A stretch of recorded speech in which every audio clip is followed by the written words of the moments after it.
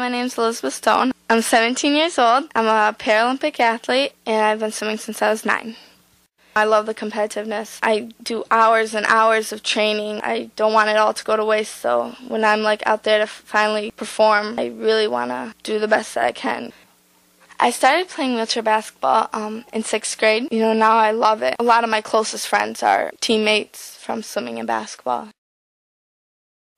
Liz is my number one player. The girl has so much talent. It is unbelievable. She's a true athlete. She has the desire and the heart and always, always wanting to win.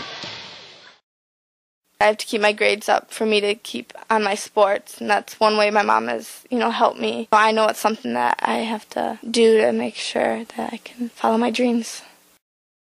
Our family's a little bit different in that it's just her and I. I think a lot of her competitiveness and her drive to excel comes from the start she had in life. She was born in the orphanage, and only one out of four children in that orphanage lived to be five years old. So she struggled from the very, very beginning of her life just to survive. She has to deal every day with having a disability. Some of those things you think might be bad things, but I think it's kind of all come together to make her the person that she is. You know, we like to talk that, you know, I think our lives are part of God's plan and and he's used some of these negative things to bring about great good things in her.